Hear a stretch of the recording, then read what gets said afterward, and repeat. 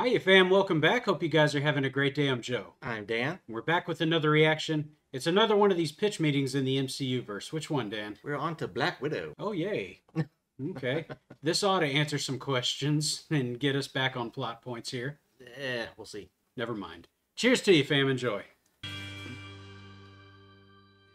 So, you have a movie for me? Yes, sir, I do. I was thinking we could do a Black Widow movie. Oh, that's. Did you not see Avengers Endgame? I have terrible news. No, I did see that movie actually. Okay. Yeah, see, I figured we could set the movie a couple years in the past, you know, when it would have made more sense to make it. Oh yeah, why did we wait so long to do this? Well, remember that whole leaked email situation with the old Marvel Studios head Ike Perlmutter, where he was like, female led superhero movies don't make money, and he listed a bunch of examples? Nope, nope. sh- Stop. But then Wonder Woman was a success, so I was asked to take a look at our female character roster again. Stop talking. Oh, sorry. Are we not saying that out loud? We're just, we're gonna take that again, okay? Why did it take us so long to do this? I don't know. Fair enough. Better late than never, I guess. yeah, yeah, yeah. So tell me about the movie. Well, I figure we could get more grounded with the Black Widow movie, you know? Ah, we're gonna do a more grounded movie about the lady who jumped off a cliff on planet Vormir after a red-faced war criminal who's now a space ghost explained that that was the only way to get her hands on the magic rock she wanted before a muscle-bound purple alien got it and completed his power glove. Yes.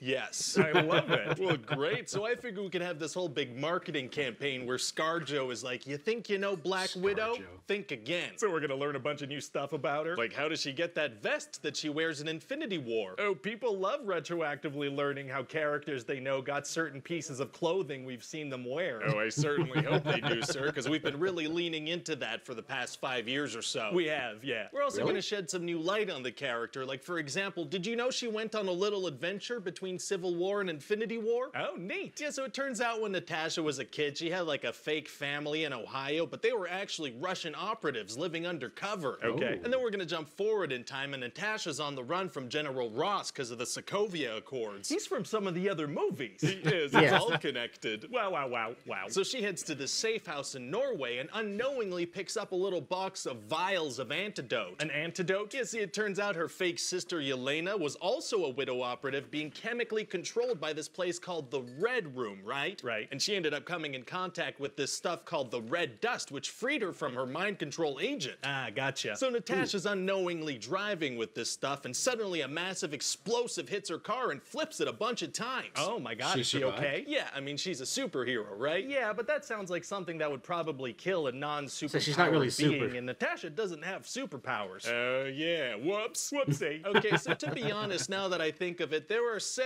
scenes in this movie where, as a non superpowered individual, she should definitely be killed, but Oh. she's not gonna. It would be better story-wise if she didn't die. yeah, because we already know when she dies anyway, so then she's gonna get attacked by this villain called Taskmaster. Oh, people love that character. Very cool mimicking capabilities, entertaining personality. Yeah, so I figure we could do like a Deadpool kind of thing. Yeah, bring a character that people love to the big screen in an enjoyable way, sure. Uh, no, I meant like a Deadpool and X Men Origins Wolverine Oh, kind no. of thing. Oh, Oh, turn the character into a mind controlled killing machine with no speaking lines or personality traits. Yeah, that works too. Great. So then what happens? Well, Natasha escapes with the vials and goes to see her fake sister, and they start fighting when they see each other. Why? Because it's been a couple of minutes since the last action scene. Gotcha. And so Natasha finds out that this bad Russian guy, Dreykov, who she thought she killed years ago, is actually still alive and still running the Red Room. okay. And by the way, I was thinking we could get Ray Winstone to play him. oh, he's great. Can he do a Russian accent? Doesn't matter.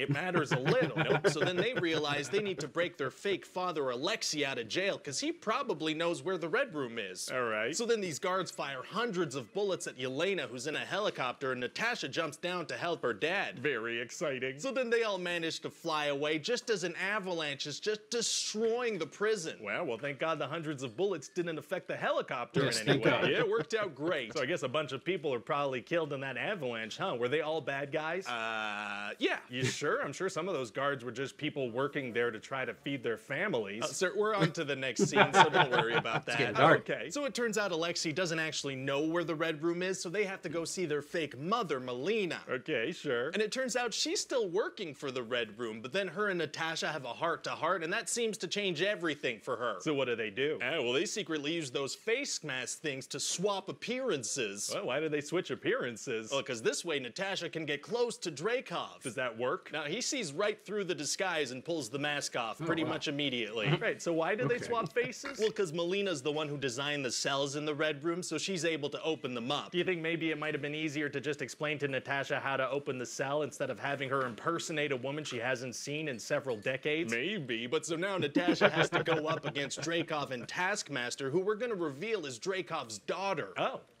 okay. No, see, this is kind of a big deal because Natasha always assumed she killed her when she was a little girl as kind of intentional collateral damage when killing Dreykov. Natasha intentionally killed a child? Well, the child didn't really die, so morally we're all good. Ah. so then we're gonna Uh, flash back to Melina explaining to Natasha that you can't actually hurt Dreykov. Why? Because he implemented a pheromone blocker in all the widows, so if you can smell him, you can't hurt him. What? It's Oh. basic science, sir. If you can smell him, you can't fire a gun at him. Is that basic science? It Robocop yeah, because that's why I wrote that in here. So Natasha has to hold her breath? No, because see, Melina explains that's not enough. You gotta sever a nerve right here. Couldn't she just kind of stand on the other side of the room, far away from him, fire a gun from there? Nope. But probably, though? Pheromones. Oh, very far-reaching pheromones, so it's gonna be tough for her to hurt him, huh? Actually, it's gonna be super easy. Barely an inconvenience. Oh, really? Yeah, see, she smashes her face on a table, and that severs the nerve. Oh, surgical head smashing is tight. but so then Dreykov Okay. manages to bring in all the brainwashed widows, and they start attacking Natasha. Oh, no. But then Yelena uses the antidote on all of them, and all their free will comes back. oh, very nice of her. And Melina blows up a main engine of the Red Room sky base, so the whole thing starts to fall. Uh-oh. Yeah, and then Yelena blows up the plane that Dreykov was trying to escape on. and she was able to do that despite the pheromones? Sure, and so then Black Widow dives after her as she plummets towards Earth, but Taskmaster starts attacking again. And not one piece of the massive, actively crumbling sky base lands on them. That's what we're going with. So then they land, but Natasha manages to use the antidote on Taskmaster, and so everything's great now. So nobody died in the massive collapse? yeah, just every single one of the bad characters and not a single one of the good or redeemed characters. Oh, well, great. So then instead of escaping with her family, Natasha decides to stay behind and be captured by General Ross. Oh, yeah, she can't go with her family. She's got to be in a couple of other movies. So then two weeks Yeah. later, she meets up with her friend who got her a Quinjet. Wait, wasn't she just captured by Ross? What happened there? I don't know. Oh, fair enough. And then during All the right then. credits, we're gonna have this scene where Yelena is at Natasha's grave, and this character, Contessa Valentina, shows up with a mission for her. What's the mission? Sign up for Disney Plus. Very exciting. yeah, it's gonna be very exciting. People are gonna be like, "Who is this character?" It's gonna be this big reveal. Oh, that's going to be a big reveal. Really add a lot to the end credits, unless we decide to reveal it in a streaming show first. What? Hmm. And you did, didn't Yep. you? Yep. All right. Maybe I should have watched it before. uh, lessons learned. It's always brilliant the way he finds these plot holes. Oh, there, there's plenty to find there. I actually did see this one. I just wanted to see what was going on with the storyline, just to, just to know more about Black Widow. And really, it wasn't the the best use of your time. I'll say that. You, know, you learn a little bit about her family, but realistically, the only thing it does is it introduces her sister and it introduces the other character there, who they talk about in Disney Plus shows. And then you end up seeing them later on too. Like the sister shows up in Hawkeye, Hmm. and the other girl, the other woman, she's in Falcon and Winter Soldier, like they said there at the end. Yeah, I saw. But realistically, nothing else in that movie matters to the MCU besides introducing those characters. What do they call that type of movie? I think it's called like an interquel or whatever. That's that, I've heard this term recently. It's it's it's exactly what currently Alien Romulus is Mhm. because it's a movie that takes place in between two timelines. Mhm. Black Widow takes place after was it after I think they said after Civil War. takes place after Civil War, but before Infinity War. Right. So you're answering some questions in there. They call that like they call that an interquel, I think. Mhm. So it's like a movie that takes place in between two timelines of two other movies. Alien Romulus, in the same way, just to make the point here, takes place in between Alien and Aliens. Right. I don't know. Does that make sense to you? Yes, I know what Okay, you're talking about. In a way, it was kind of a character origin story for Black Widow, is all it really was. True. Now, Grant, you know, because every other hero that we saw, they had their big origin movie where, you know, we see Tony Stark develop his Iron Man suit. We see, you know, Bruce Banner gain his Hulk powers. You see Thor get thrown out of Asgard and have to deal with all that mess. This was her origin story because she just kind of shows up in one of the in the Iron Man 2 when we never really get her background until this film. Does that mean we can expect a Hawkeye story at some point? I don't know. I don't know if they'll do it. I don't know. If, I don't know if there's a need for them to do it because they kind of passed off the torch to somebody else in the in the series. But Well, that's not fair. So she dies, Mhm. and then she still gets an origin story. But Hawkeye, who's still alive here, who had quite an interesting tale, especially in Endgame, Mm-hmm. doesn't get an origin story. All right, because at some point he meets up with Natasha Romanoff, right? Yeah. You would think that he kind of deserves that, and I know that has nothing to do with Black Widow, folks, but still. Well, I think it kind of goes back to what they're saying too about the whole debate about you know can you make a, a female-led superhero film and make it work? Oh, is this so? That's where this is going. Okay. We only wanted to focus on girl power from here on out. We had no time for you, Hawkeye. Sorry. And really, in a way, it is because it is all about Black Widow and her sister throughout the majority of the film. Okay. You know, it, it's them out there, you know, kicking ass and taking names. But it's as a film, it's just not. You don't have the same stakes that you do in some of the other Marvel films. They're not really superheroes, so. And as, yeah, exactly right. As they pointed out, they are not superheroes. They're just ordinary people. So basically, it's just a, a more like a spy thriller than anything, set in the MCU. Well, oh, so be it. And it's, yeah, I think I like the idea of like calling him out on the fair on the whole pheromone thing here, yeah, and like she could smash her head on the table, wow, brush it off, and then do what she needs to do. But the other girl, you know, makes practically stands in front of an explosion. Who doesn't die again, by the way? mm-hmm. And she could do that to him, but Well, like like the best one he made though is like, why don't you stay on the other side of the room and shoot him if it's a pheromone problem? 'Cause you're not gonna smell him from 20 feet away. No, exactly. Your pheromones are not that potent. No.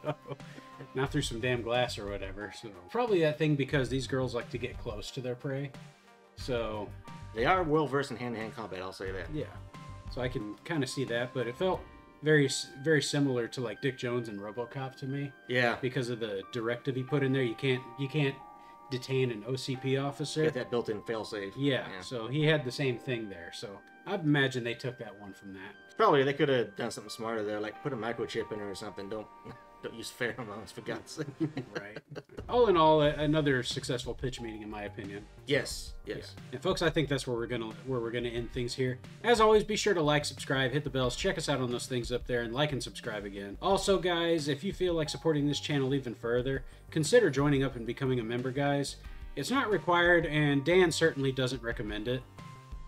Join up. but we'd love to have you guys anyway. But as always, this is Cocktail Flicks, and I'm Joe. I'm Dan. We'll catch you on the flip side. Cheers to you, fam. Cheers to you, Dan. Cheers to you, Joe. Later, guys.